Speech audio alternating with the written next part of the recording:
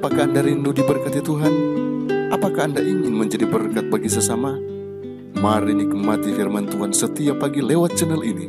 Dan mari kita bagikan setiap kebenaran firman yang kita terima kepada sahabat, saudara, teman, atau handai tolan di mana pun mereka berada.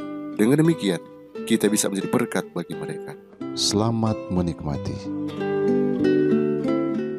Judul renungan kita hari ini ialah Ia telah bangkit. Mari kita berdoa. Kiranya kasih karuniamu dan damai sejahteramu akan melimpah-limpah atas kami ketika kami mendengarkan kebenaran firman-Mu.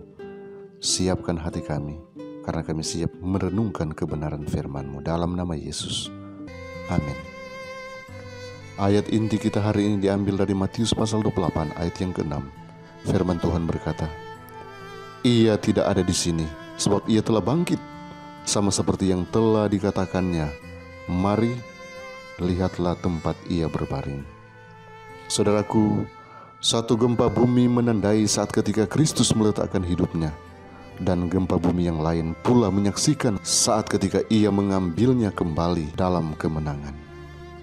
Ia yang telah menaklukkan kematian dan kubur, keluar dari kubur dengan langkah seorang pemenang di tengah guncangan bumi, kilat yang memancar dan guru yang bergemuruh. Kristus keluar dari kubur dalam keadaan dipermuliakan dan pengawal Roma melihat dia. Mata mereka terpaku pada wajahnya yang belum lama berselang sudah mereka olok-olok dan tertawakan. Dalam oknum yang dipermuliakan ini, mereka memandang orang tahanan yang telah mereka lihat di ruang pengadilan, seorang yang baginya mereka telah menganyam sebuah mahkota duri ketika melihat malaikat-malaikat dan juru selamat yang dipermuliakan itu. Pengawal Roma pingsan dan menjadi seperti orang mati. Pada waktu para pengiring dari sorga tersembunyi pada pemandangan mereka, berdirilah mereka, dan secepat anggota-anggota badan mereka yang gemetar dapat membawa mereka. Pergilah mereka ke gerbang taman itu, dalam keadaan terhuyung-huyung bagaikan orang mabuk, mereka pun pergi cepat-cepat ke kota dan menceritakan kepada orang-orang yang mereka jumpai tentang kabar ajaib itu. Mereka sedang menuju kepada Pilatus, tetapi berita mereka telah disampaikan kepada para penguasa Yahudi, dan imam-imam besar dan penghulu-penghulu menyuruh memanggilnya untuk dibawa menghadap mereka lebih dahulu.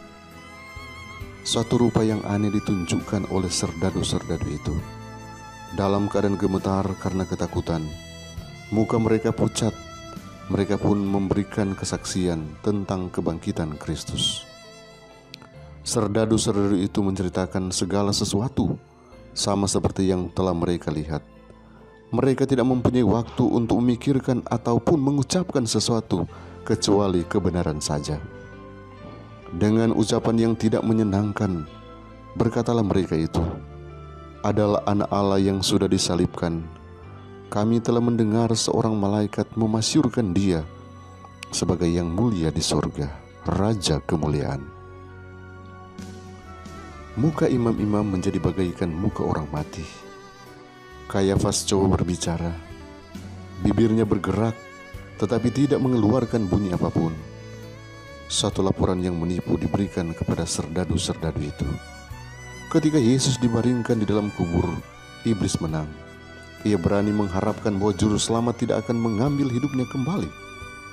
Ia menuntut tubuh Tuhan dan menempatkannya pengawal-pengawal di sekeliling kubur. Berusaha menahan Kristus sebagai seorang tahanan.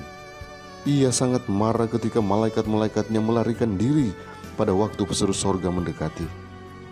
Ketika ia melihat Kristus keluar dalam kemenangan, ia mengetahui bahwa kerajaannya akan berakhir dan bahwa ia harus mati pada akhirnya.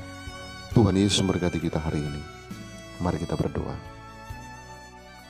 Bapa di sorga terima kasih karena saat ini kami kembali boleh dibekali dengan kebenaran firman-Mu. Firman kebenaran akan menuntun terus kami ke dalam segala kebenaran. Kami akan jadi pelaku-pelaku firman.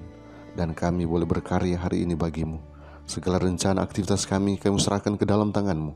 Sukses kami boleh raih karena penyertaanmu sempurna bagi kami. Karena kami serahkan kehidupan kami, rencana kami hari ini hanya dalam nama Yesus Tuhan dan Juru Selamat kami. Amin.